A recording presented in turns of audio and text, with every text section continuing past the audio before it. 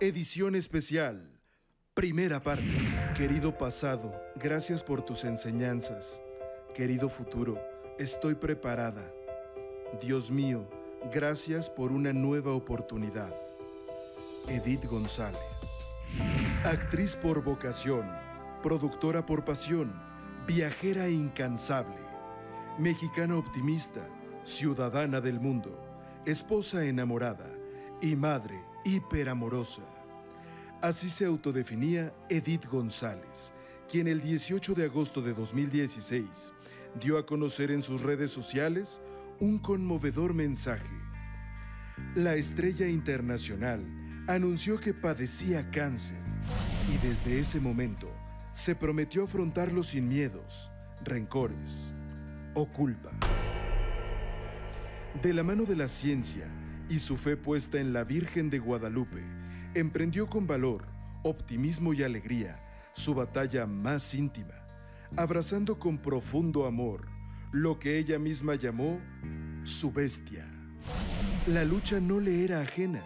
Su padre le mostró el modelo y herramientas que durante tres años la mantuvieron firme hasta que el 13 de junio de 2019, plenamente consciente, decidió partir y decir adiós.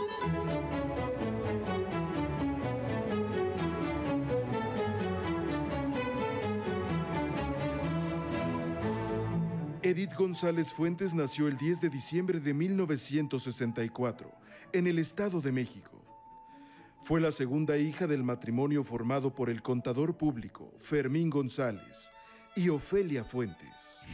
Éramos eh, esta pujante clase media de los, de los años 60, ¿no? Mi papá profesionista, clase media media, eh, con mami en casa, yo hijo único durante 10 años, entonces Edith sí llegó eh, eh, diciéndolo en buen plan como invasora, ¿no? Fue una impresión muy agradable ver a, a una hermanita después de haber sido varón y de haber tenido más de 10 años de ser el consentido, de ser el hijo único y después de compartir el techo con una preciosidad. Una mujer que desde los cuatro años empezó a trabajar. Una amiga de mi mamá la vio jugar con sus muñecas y le dijo, tu hija sirve para artista, eh, para actriz. Y un día se pusieron de acuerdo, fueron al programa de Siempre en Domingo de Don Raúl y ahí había unos buscadores de, una, de un niño eh, con ojos azules, con las características de Edith. Entonces la tomaron del público y mi mamá dijo, sí, está bien, que vaya. Ahí ingresó al, a este mundo, del maravilloso mundo del espectáculo. Con solo cinco años y un rostro angelical, Edith fue descubierta por el productor y director Antulio Jiménez Pons.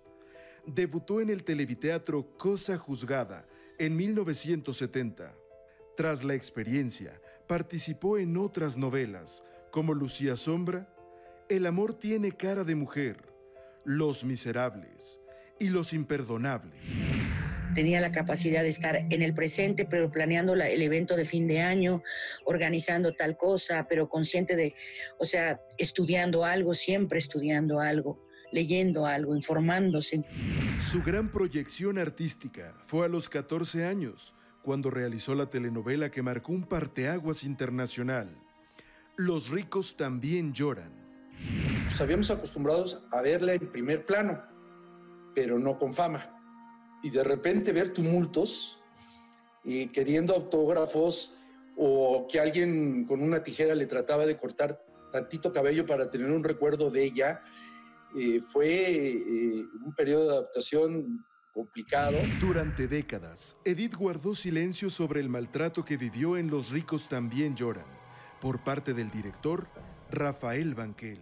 Eh, fue un poquito duro con Edith, como niña y que a los 14 años es impactante. Mi papá era un hombre muy disciplinado. En el momento que se decía acción y en el momento que se empezaba un ensayo, ni siquiera permitido llegar un minuto tarde, eh, no llegar con papel aprendido.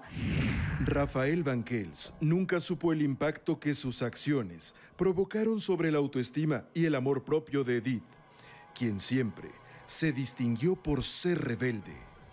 y era izquierdosa. Me acuerdo perfecto que en alguna ocasión me, pues, yo me paseaba en Televisa, entro a su camerino y me llamó poderosamente la atención que había pegado cualquier cantidad de propaganda de estas de papel eh, chafa de Cuauhtémoc Cárdenas. Ella era izquierdosa, le iba a eso. Y a mí se me hizo muy fácil tomar una foto, escribir una nota y poner un comentario al respecto. Tú no sabes la regañiza que me puso al día siguiente, porque a su vez a ella le puso una regañiza el señor Emilio Azcárraga. El señor Emilio Azcárraga Milmo este, era priista, tuvieron que entrar a limpiar su camerino, porque estaban muy pegadas las, las, estas estampillas, en fin. Pero me quedaba claro a mí que era una mujer que tenía una postura política, que tenía una postura ideológica. Un monólogo en el famoso programa Hoy mismo la hizo lograr con solo 17 años, su primer protagónico de telenovela, que marcó un fenómeno de audiencia en China. Bianca Vidal. A los 17 años, Edith González se había convertido en la número uno que habían hecho telenovelas en Bianca Vidal se veía en China. Ver que Edith estaba triunfando en China fue, fue, fue fantástico. Ahora viajan a China invitadas por el ministro chino en aquel entonces y, y les hacen una cena que les dieron cucarachas, sesos de mono decapitado ahí en ese momento, le volaban la tapa de los sesos, tienen que comer, casi se vomitan, se salieron y casi se van al bote porque era un, una, una ofensa a, las autoridades chinas, ¿no? Ellos estaban ofreciéndoles un banquete con lo mejor que puede ofrecer ese país. Pero lograr el protagónico de esta telenovela significó la frustración de sus compañeras. Me hablaba Valentín para una novela nueva y yo le decía, oiga, ¿cuándo me va a dar un protagónico? Todavía no es tiempo, decía. Todavía no es tiempo. Y al año siguiente otra vez, ¿no? Y Bianca Vidal con Edith González, la protagónica. Y yo decía, chin, Edith empezó Los ricos también lloran, pero en la segunda parte. Si Edith empezó después que yo, ¿por qué no me da a mí? Aunque su fama y estrellato nunca la hicieron incumplir sus obligaciones escolares, Edith González no concluyó la preparatoria. Y Edith hizo muchas fotonovelas. En una de ellas no se, no se quitó el uniforme escolar que la ven las, las monjas y las directivas de, de Simón Bolívar, la expulsaron. Sin miramientos, sin miramientos. Ni siquiera le dejaron presentar el examen final para terminar la preparatoria. Y entonces, su familia tomó la decisión que hizo de la actuación su profesión de vida. Si Edith ya desde los cinco años tiene elegida su carrera y lo hace con un gran entusiasmo, pues que estudie equitación, natación, canto, baile, comenzó a tomar clases sueltas. Edith se comprometió a, a ser eficiente en los estudios. Con Bianca Vidal, Edith conoció la gloria artística internacional, pero también vivió su mayor dolor familiar su padre enfermó de un agresivo y mortal cáncer de estómago. miosarcoma fibroso. Ouch. Es uno de los cánceres más agresivos que existen. Y se le dieron tres meses de vida. Le fuimos a decir a mi papá, eh, pues padeces cáncer, dice, habla al doctor, al doctor porque quiero saber cuándo empieza mi tratamiento. Jamás nos, nos, este, nos dijo que, que, tenía afecciones de dolor y no veíamos que se quejara. Y, eso fue una gran lección y que algún primo lo, lo llegó a ver en el metro. Dice que pescado del tubo que estaba a punto de desfenecer, pero la casa llegaba entero. Una, una fortaleza para enfrentar su enfermedad. En el preámbulo de su muerte, Edith combinaba las funciones teatrales con los últimos capítulos de Bianca Vidal pidió permiso al productor Valentín Pimstein para ausentarse y acompañar a su padre en sus últimos momentos, pero no se lo concedió. De noche fue a verlo, ya mi papá sí ya eh, estaba casi inconsciente, ya el, el cáncer había invadido casi todo su cuerpo. Su padre falleció el 13 de septiembre de 1982, dejando en Edith una profunda huella de valor y entereza ante la muerte, que décadas después la haría afrontar la misma enfermedad con una peculiar frase. Disciplinada y comprometida en su preparación artística, Edith construyó una carrera que sobrepasó a Erika Buenfil, Victoria Rufo y Laura Flores, actrices de su propia generación.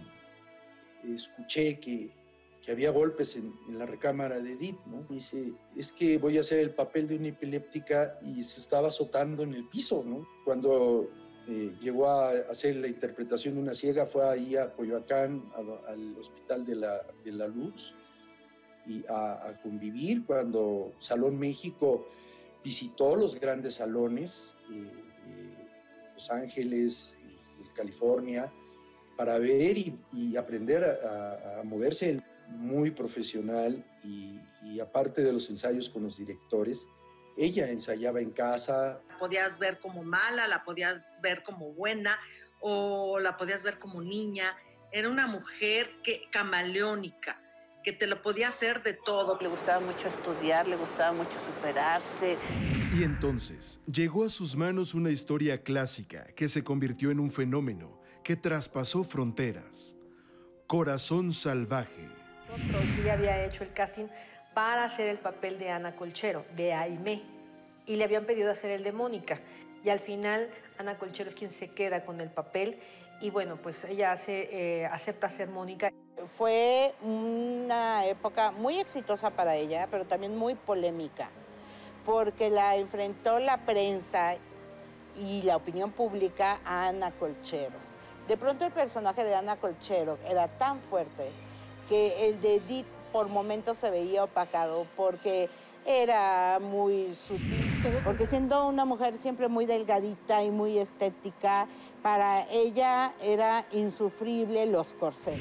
Mónica catapultó su fama hasta Italia, donde comenzó una peculiar amistad con una fan, que no solo se convirtió en la impulsora de su primer club oficial de admiradores en aquel país, también en su leal confidente.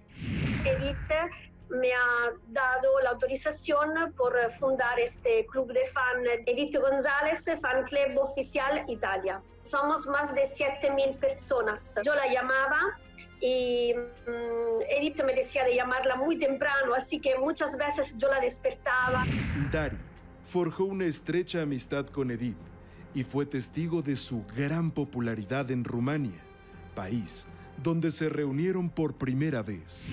La televisora la había invitada porque em, Salomé había tenido un éxito increíble. La llegada de Edith ha paralizado el aeropuerto y en ese mismo momento, mm, cuando em, llegó Edith, la televisora em, se transmitía también una reunión muy importante del gobierno de Rumania y eh, Edith tuvo más eh, audiencia de esta reunión tan fundamental por, el país.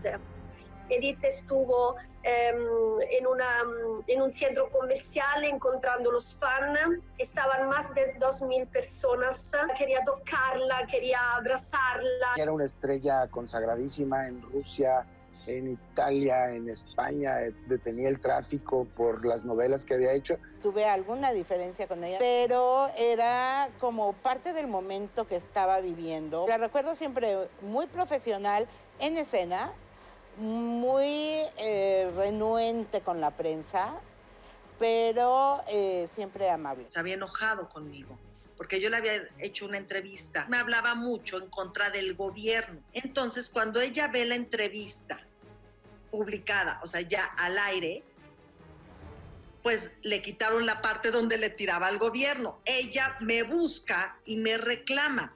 ¿Por qué le quitaste eso? Ella me deja de hablar, la vuelvo a encontrar y le agarré yo la mano. Y le dije, Edith, me da mucho gusto verte bien. Y ella cuando me recibe la mano también, muchas gracias, Maguicha. Es un gusto verte. Y con, con esa nada más, supimos las dos que era, ya dejamos atrás ese pequeño pleito. Muy cautelosa, muy, muy medida en lo que iba a ser. Era una mujer muy brillante. Figura internacional de los melodramas. Edith González afrontó el mayor de sus retos artísticos y personales en un salón de baile en México.